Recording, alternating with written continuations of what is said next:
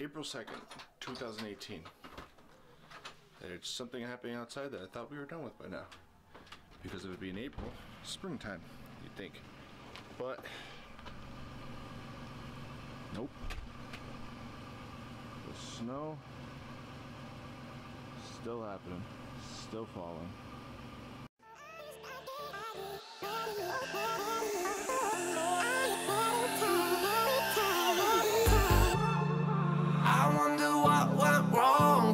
Today. Eh?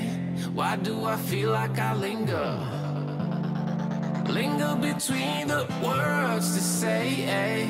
To say the words to remember.